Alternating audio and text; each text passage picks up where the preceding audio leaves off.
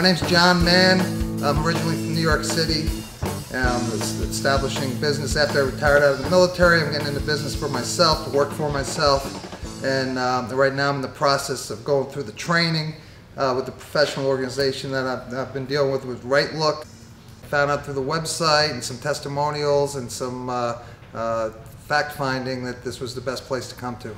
I took the uh, professional detailing uh, training program good startup business to get into. Um, I always like, uh, I loved working with cars, and uh, that seemed like something I wanted to get into with possibility of expanding further later on once I got my business up and running.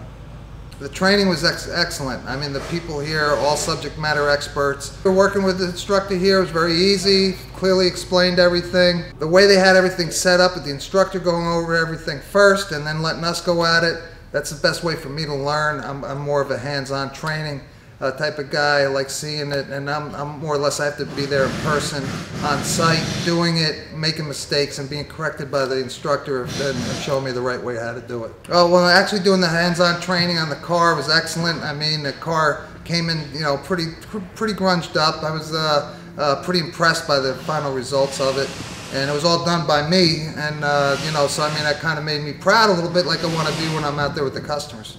The highlight for the training here is really just the overall experience coming into the shop where they actually building the building the trailers that are going out, looking at the equipment, the equipment that's actually being used out in the professional field, talking to the people the, that are professionals here that have actually owned businesses and, and, and were successful, showing us how to, how to do it through this course. Uh, really, the way I was detailing cars prior to, to me coming through this course was totally the wrong way.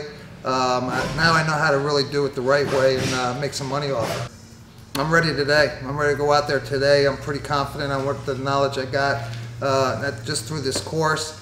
And uh, I feel more confident than I did before I got here for sure. Overall, if somebody hasn't been through the professional training through Rightlook, I'm to have a big advantage.